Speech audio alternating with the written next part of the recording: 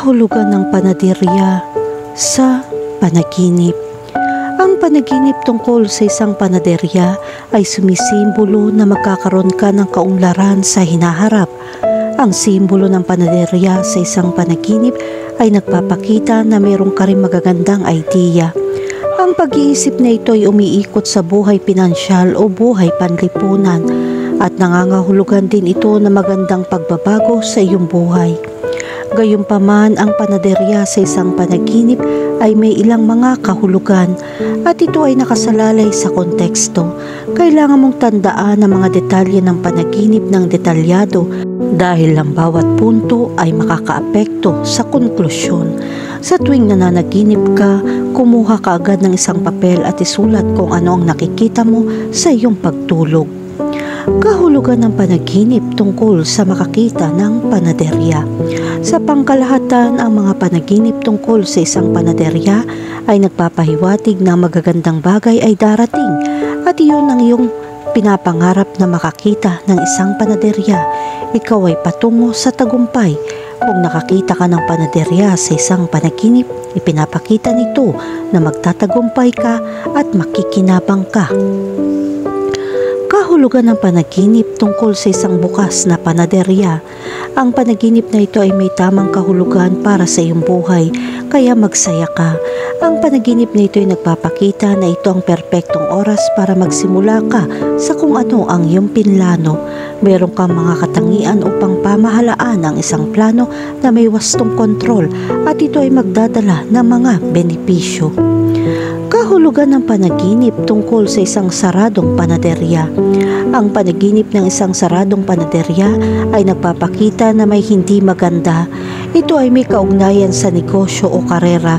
Kung ikaw ay nakikipag-ayos, ang masamang pamamahala ay maaaring magdulot ng pinsala.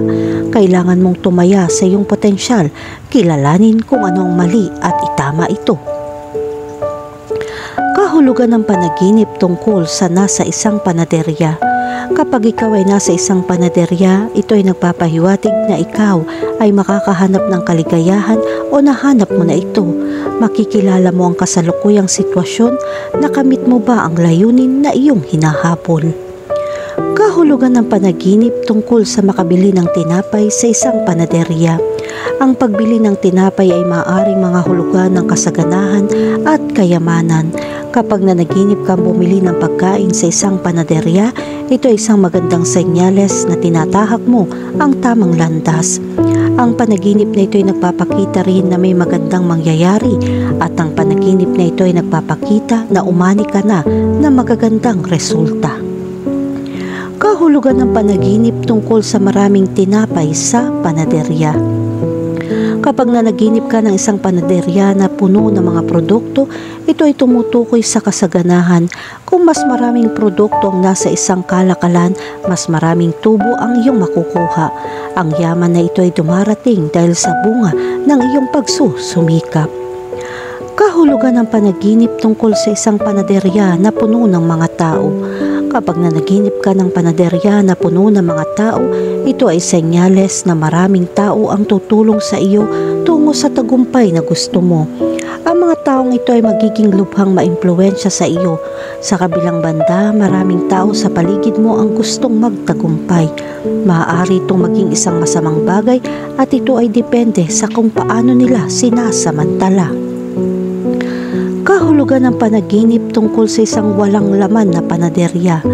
Kapag wala kang makita sa panaderya, nangangahulugan ito na may mali. Ang panaginip na ito isang senyales na mga problema sa pananalapi ay darating sa lalong madaling panahon. Maaari kang makaranas ng ilang mga problema sa pananalapi na magpapahirap sa iyo. Kung may posibilidad ng isang krisis sa pananalapi, pagkatapos ay maging handa upang harapin ito kahulugan ng panaginip tungkol sa isang panaderya na nasusunog. Kapag nanaginip ka tungkol sa isang nasusunog na panaderya, sinasabi nito na nahihirapan kang harapin ang mga personal na problema. Kung magpapatuloy ang sitwasyon, maaring lumala ang problemang ito. Ang pinakamasama sa problemang ito ay ang pagka-bangkarote.